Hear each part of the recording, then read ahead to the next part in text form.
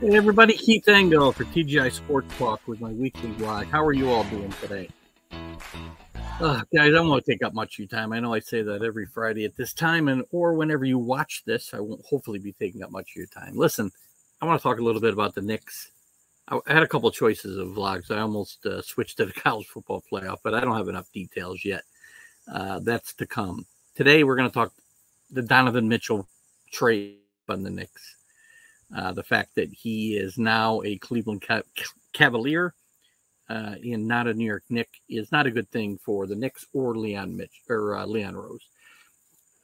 Listen, I don't care whether you think uh, Donovan Mitchell was a good fit, bad fit for the for the Knicks. Um, I think he would have been a very good fit.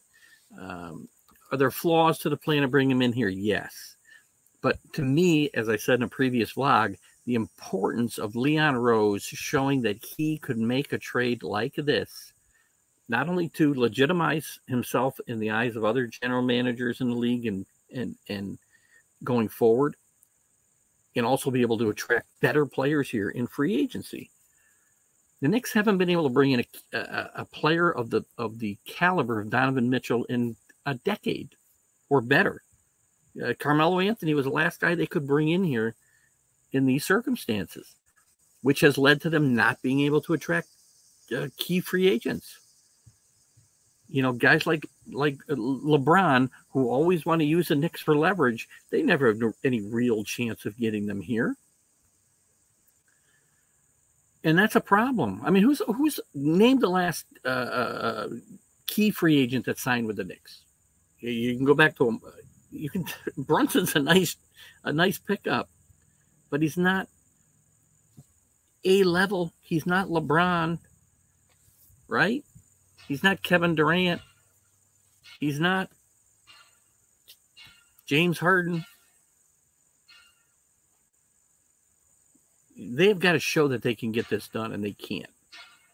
They brought in Amar'e Stoudemire back in the uh, you know mid mid uh, 2010s but and that was a nice signing for a couple of years. But he again wasn't top level. He, they were settling for Murray Stoudemire when they couldn't get LeBron and they couldn't get other key guys. So again, the Knicks are. It doesn't matter to me the particulars necessarily. It, it matters to me that they're unable to pull the, the, trigger on this. And this this is a Leon Rose issue, but this is also a New York Knick issue. Again, they can't make these types of trades. I know the Jazz were holding them over the the barrel. They likely were holding out for RJ Barrett, and I probably would have held line there myself. And if you don't think they wanted Barrett, I think it's pretty obvious to me, at least, that they did want Barrett because as soon as he signed his four year uh, extension for $120 million with the Knicks, the trade got made with Cleveland, I think the next day or the day after that. I might have held a line there. But if, if they wanted three unprotected draft choices, then I would have given them to them. The Knicks made all these moves for all these first round draft picks, and they come away with nothing so far. Nothing. What was the point of making these trades? To me, uh, draft picks are, you know, like playing a lottery. You don't know, and pardon the pun, uh, you don't know what you're going to get. You have an established star in Donovan Mitchell, a guy who can get the ball to the basket in the basket. Something the Knicks would have would have done very well with. Would there have been some flaws on the defensive end of this team? With this team, yes.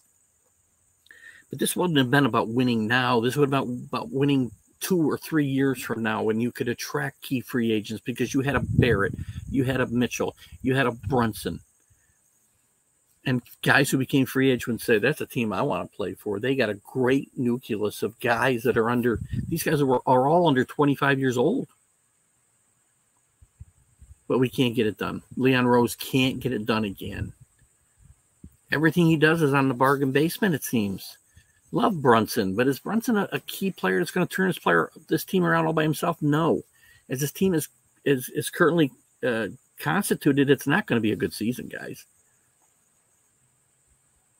So the guys you wanted to hold on to, Quickley, Toppin, you cannot tell me that he couldn't. And, and Rose has got to be able to out negotiate Danny Ainge who's one of the best. But you got to show that you can you can pull off a trade like this with a guy like Danny Ainge and get the job done. He had all kinds of ammunition that Danny Ainge would have uh, eaten up. You had all those draft picks. You had Toppin. You had Quickley. I might even have given up Grimes, who I love. I'm not giving up RJ Barrett. Again, I said before I hold the line at RJ Barrett. But once again, the Nick show and Leon Rose show, they cannot make the big deal. He can't find a way to get it done. And again, to me, don't tell me we didn't want Donovan Mitchell anyway. This isn't to me about Donovan Mitchell and whether you think he would have been a, uh, you know, made the Knicks a better team now or in the future. It's not necessarily about your or my opinion about that. It's more about the fact that Leon Rose can't get this done. He wanted Donovan Mitchell. He made it clear he thought he was that kind of player. But what did he do? Did he take the extra, go the extra mile to get this job, this this uh, this trade done? No. Could he have? Could he have topped the Cleveland trade? I do think he could have. Could he have done it without R.J. Barrett? I'm not sure but he needs to be able to outmaneuver Danny Ainge in this in this uh, uh, situation if he wants to be known around the league as a guy who can get it done, not just within his team and his fan base, but with other executives around the league. It's so frustrating to watch these things happen, uh, regime after regime after regime. We constantly bring in second rate players here.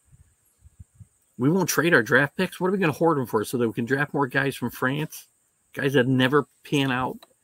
The Knicks history with first round draft picks in the last 40 years is not very good, guys. Go back and look. Patrick Ewing notwithstanding. There have been a few hits. There have been so many misses. Let's let's just call it 20 years what are those draft picks really worth? They're a flip of a coin, man. But when you and when you get a, a guy that you know that is a NBA star, a top 15 player right now in my mind, top 20 at least, you can't go out and get that guy or any guy of his caliber. Again, this isn't necessarily about Donovan Mitchell. This is about the inability to bring in a guy like Donovan Mitchell. Year after year after year, 10 years since they brought in a, a player of his caliber, which affects everything going forward. When you can't, when you show you can't, either won't or can't make these types of trades, and other players don't want to come play here because they're not, they're not confident you're going to do what it you needs to be done to build a winner. And that's why you end up with second tier free agents. Nice players. I'm sure Brunson's going to be a nice player and he's going to help this team. But how much is he going to help this team as is presently constituted?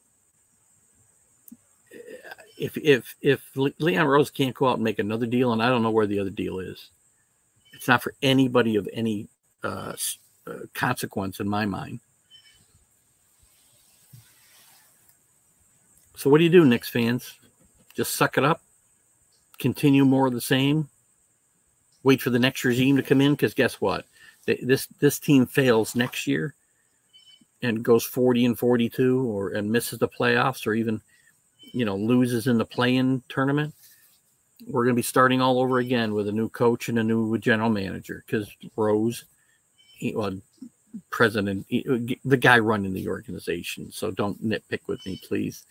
Um, they'll be starting over and we'll be looking at another five-year plan that'll never come to fruition. So what did we do?